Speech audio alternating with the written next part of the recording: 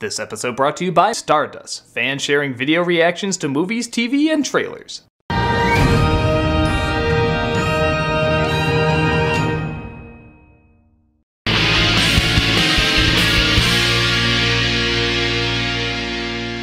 Hello, I'm the Nostalgia Critic. I remember it so you don't have to. Tim Burton has gone from one of the world's most unique directors to one of the world's most commercial directors to, you know what, just put someone in black eye makeup and we'll see it to feel somewhat artsy. But believe it or not, there was a long period of time where Tim Burton kinda had the golden touch. From financial hits like Beetlejuice and Edward Scissorhands to critical hits like Ed Wood and Nightmare Before Christmas, his biggest disaster at the time was his blockbuster hits didn't always lend their ways to Happy Meal toys. Every long line of success has its Mars attacks. Tim Burton's was Mars Attacks.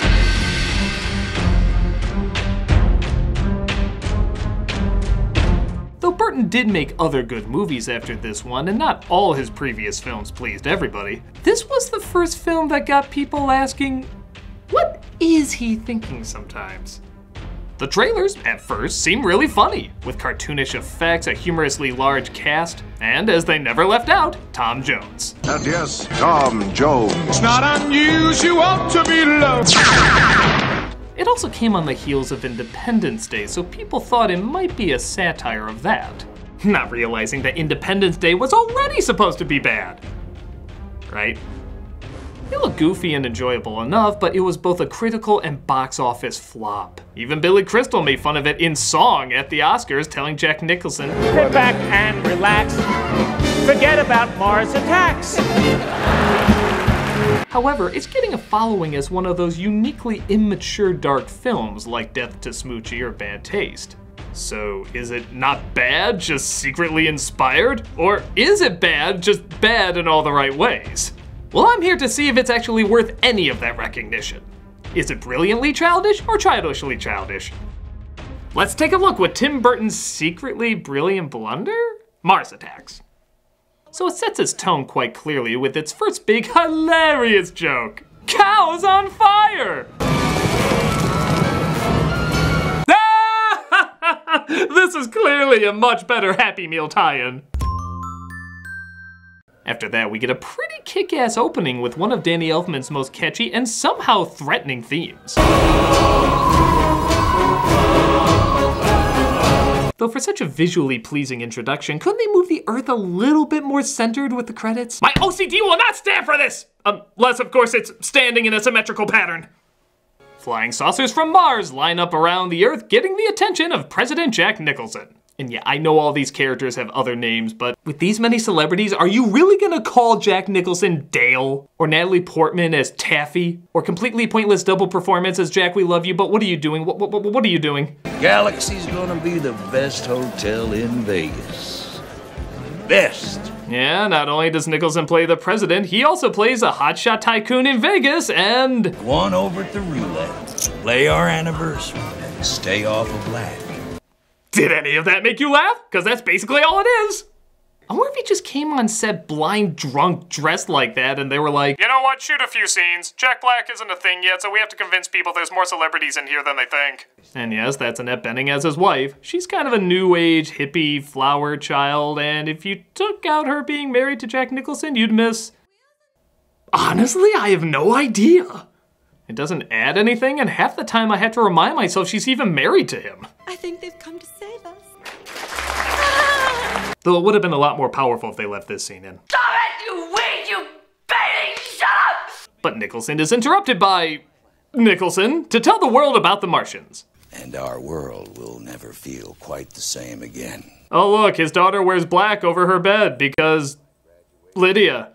Next, we have talk show host Sarah Jessica Parker, who's dating news anchor Michael J. Fox. Oh, they want me to go interview that professor from the White House? We should have got that guy. Well, I can't help it if your people are too slow. She's just in a weird mood because her Sex and the City survey said she was Samantha. She is clearly a Steve Brady! Next, we have Lukas Haas, Jack Black, Joe Don Baker, Christina Applegate, the agent from Beetlejuice, and the lady with curlers from Edward Scissorhands. Surprisingly doing nothing of interest. You think putting such a strange combo together, something interesting would happen by accident? But look, Lukas Haas really likes donuts. Hey, Ma, you want a donut? He made the international sign of the donut. If you need anything, any donuts or anything, give me a call, all right? This will be his arc. Pam Grier is a bus driver who has trouble keeping track of her kids, while her ex husband, Jim Brown, is an ex fighter now working in Vegas. And if you're wondering what he does in Vegas, I honestly have no clue. He just walks around in this Pharaoh costume. Because ex fighters doing that is a draw? Again, let's see if anything of interest is happening. Hey, Dad. Who's that? Neville? Yeah. How you doing? Man, give it back. Leave me alone. Not even by mistake. Will Martin Short hitting on hookers make for some good comedy? The stress at work is um, unbelievable. Guess not. How are so many strange and colorful people led by a strange and colorful person turning out to be such bland and colorless toothpicks? Mathematically, it doesn't seem possible. Okay, here we go. The Martians interrupt Parker's TV show with Pierce Brosnan. Oh, and Pierce Brosnan's in this. Is he interesting? Maybe they can tell us about our universe. How it started. Where it's going. No. On to the Martians. That's a Martian. I'm not gonna have that thing in my house. Oh, and Glenn Close is the first lady. God, there's a lot of wasted talent in this. What's her one note? Well, they're not gonna eat off the Van Buren China. Well, it's no donut arc, but. The Martians at first seem to be the best part of the movie, with their funny design and unbelievably bizarre language. But you'll find even that wears thin after a while. For now, though, they're a lot more entertaining than the human characters. Even the study of them produces some enjoyably surreal humor. I've been refining a translating computer. All green of skin. Dark is the suede that mows like a harvest. What the hell does that mean? And for the record, we never do find out what that means. I am strangely okay with that. It's like adding logic to the room, just something should never be explained. But others should, like why are Martin Short and Michael J. Fox doing nothing funny? If the Martians land, will the press have access? Can we do interviews? We'd have to establish contact, uh, work out whatever communication problems, and then I guess we just see what happens. Why does this scene even exist? Uh, Is it to build up that Michael J. Fox is gonna do interviews with the Martians? I guess that can be funny. Uh, Is it just for this one throwaway joke? Do the Martians have two sexes, like we do? Must not laugh, must not justify pointlessness. Oh, this'll get the comedy back on track. I got this chump owes me a lot of money, needs a wake-up call. What I'd like for you to do is uh, use that patented left hook on him. I'm trying to get back with my wife. Um. Finally, the Martians seem to be landing. Well, good. We can finally see how they interact with these hilarious characters. Hi, Jason! Hi! Jason! Hi! Or we could give them a podcast. I know they only say one word, but honestly, I still think it'd be more entertaining. The Martians land, and using their translator, they try to communicate. Ah, ah, ah, we come in peace. But the Martians see a released dove and start firing on everyone. Okay, we've been spending 40 minutes building up these boring characters, but finally we're gonna utilize them. They're gonna interact with the Martians. Like Jack Black's dummy soldier is about to attack. Is he gonna kick their asses or find out he surprisingly gets along with them or. I surrender!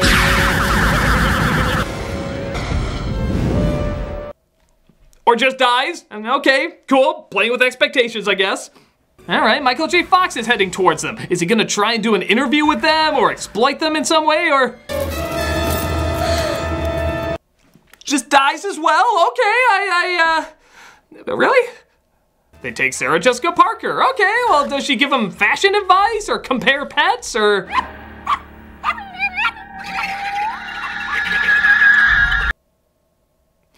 Well, at least she's still alive. I never thought I'd say that in a joyful sense about any of these characters, but at least it's another alternative to just dying. Okay, so the first couple of character interactions with the Martians weren't that funny. We at least get a few cool set pieces, like this B movie autopsy lab or this Doctor Strangelove style war room. It's just a shame nobody's saying anything funny in them. Notice the highly developed cranial nerve system here. This explains, of course, the cerebral arteries. I think an actual autopsy would be more funny than this. Okay, Tim, you got to film in some of these sets you thought were so cool as a kid. Can you actually entertain us now? But the Martians, come on, they were pretty funny, right? They still gotta get a few laughs.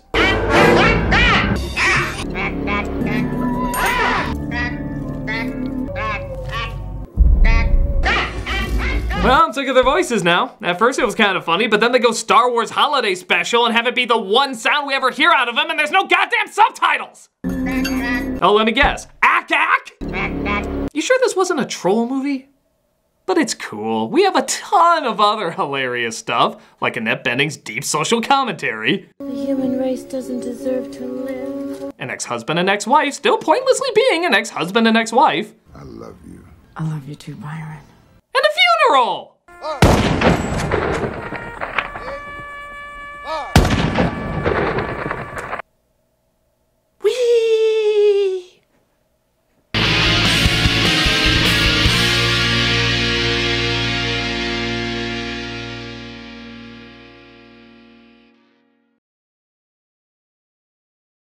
Hey guys, here's the best reactions to what I just reviewed this week. Michael J. Fox, Jack Black, Pierce Brosnan, Sarah Jessica Parker, and the acting is the most boring thing in the entire film. If anything, I got a ton of laughs. Yeah, I thought it was funny. I miss the good old days when I didn't know this movie existed. Was anyone else hoping that the aliens were gonna win in the end of the movie? Because that's all I was thinking. The fuck did I just watch? Knack, knack, knack, knack, knack, knack. Well, only in America will people vote for the Joker to be their president. You have opinions, a lot of opinions, about movies, TV shows, even trailers. There's so much to talk about. You get emotional about them just like anybody gets emotional about them. Well, now you don't have to wait to get that raw emotion straight to the internet. Why? Because we got Stardust app.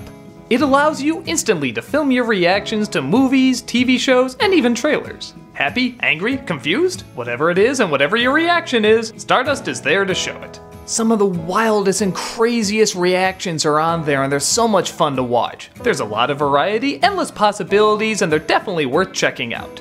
I even use it myself. This week I gave my thoughts on Mars Attacks, of course, the trailer for Ocean's 8, and the trailer for Rampage. It's there to get the first and best reaction that you got. It's a ton of fun and 100% free. So check out other people's opinions as well as sharing your own. Also, stay tuned afterwards to see how you can be in the next Nostalgia Critic.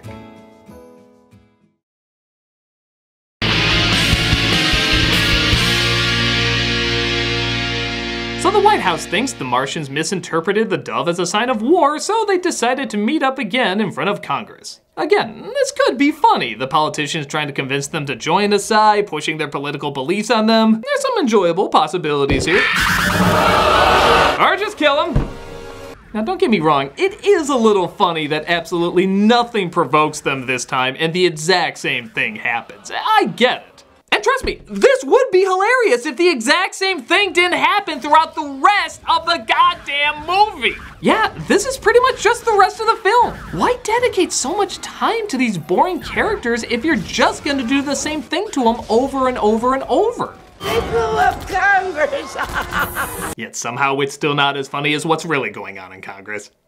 They take Pierce Brosnan this time, and seeing what they do with Parker and her head, at least there's hope that something interesting will be done with him.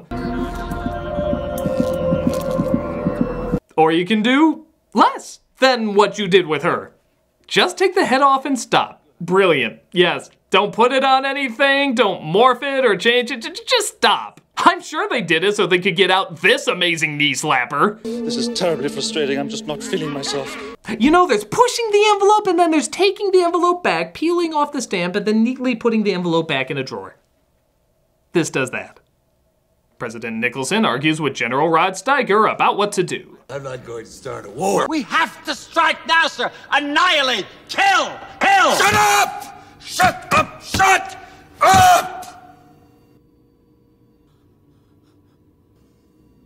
You will believe chilling drama can come from Mars attacks.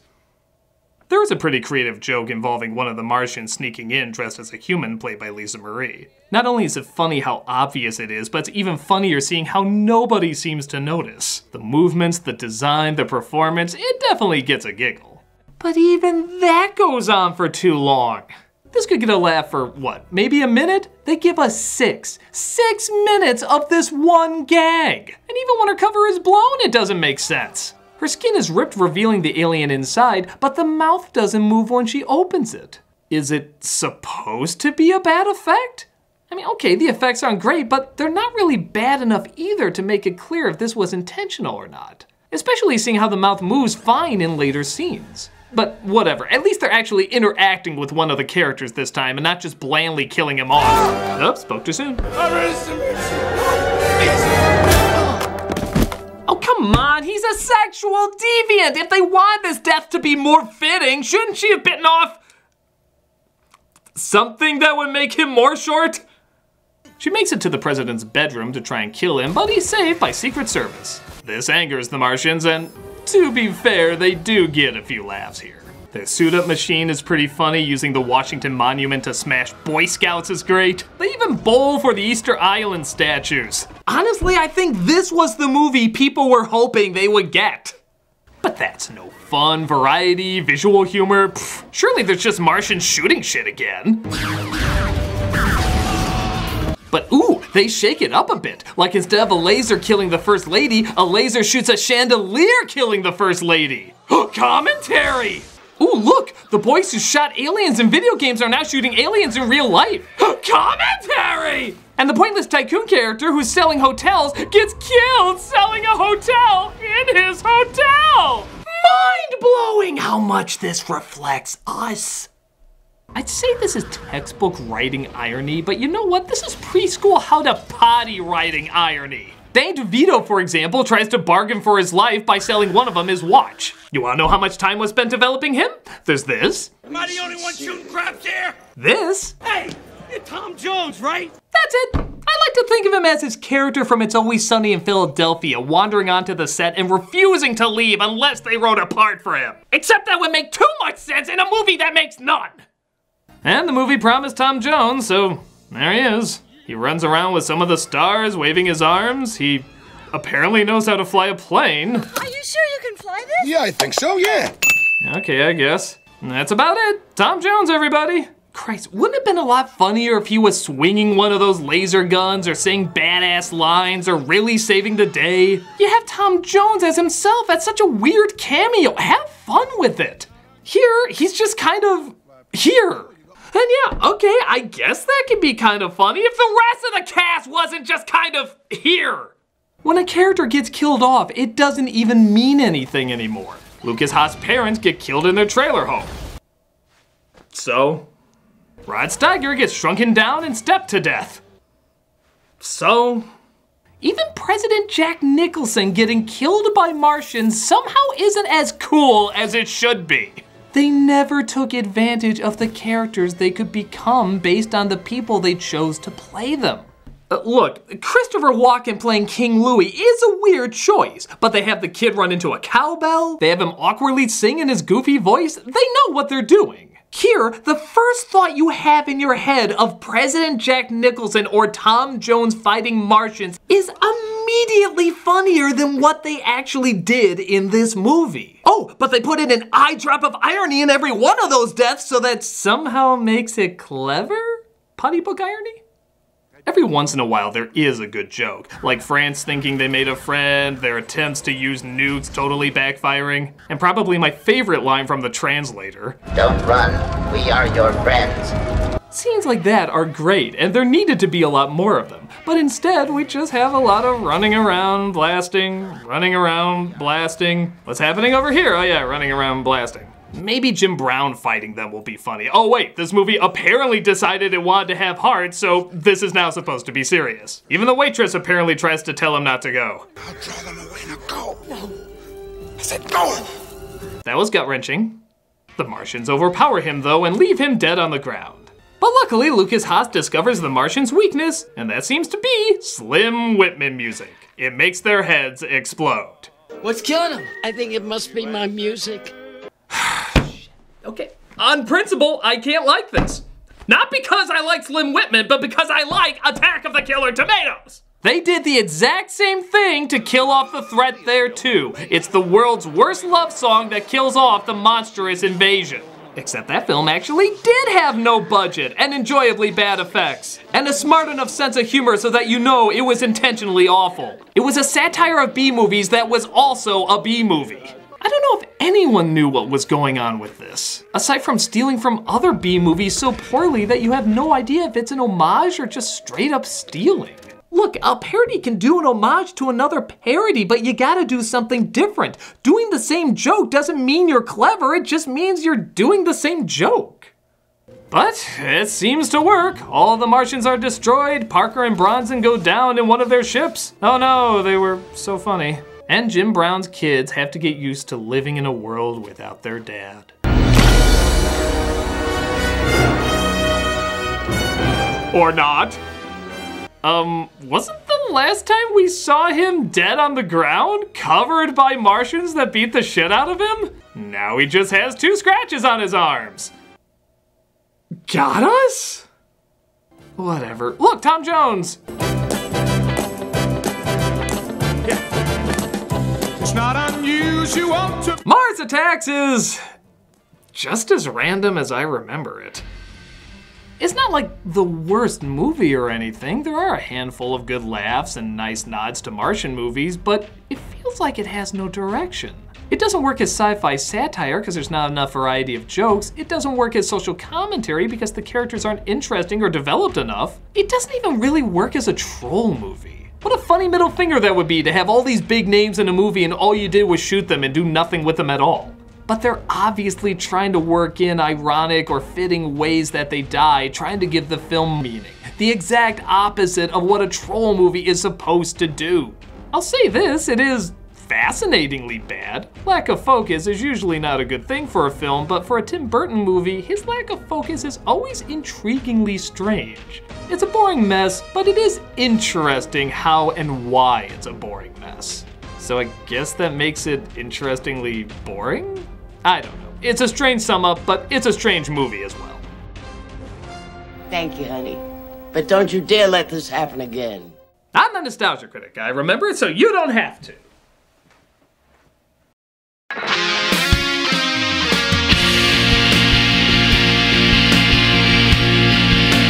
Hey guys, here's even more reactions to what I just reviewed this week. There's some things I find questionable, like the fact that the aliens were defeated by polka music of all things. Huge movie. Tim Burton, Aliens, love it. It's the best movie.